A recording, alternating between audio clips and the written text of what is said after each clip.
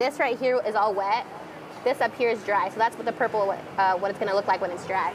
Carolina Alas and Victoria Drake are one of the 49 artists at this year's Chalk Art Festival. There's a lot of local artists in Omaha that people are not really aware of. And although it might not look like it, Get those crisp lines. get those crisp lines. Yep.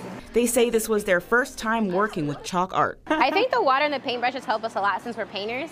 Yeah. So it's like an easier method for us to do. Mm-hmm. This is the second year of the Chalk Festival in Omaha, and there's almost twice the amount of artists. We're always looking for new materials. Michael Rieger is the art director. I'm actually from Denver, and um, I run the Denver Chalk Art Festival, which is on its 17th year. Local artists in Omaha say they wanted a chalk festival too. With the help of Rieger, it finally happened in 2018. It's just fun to see all the art come to life.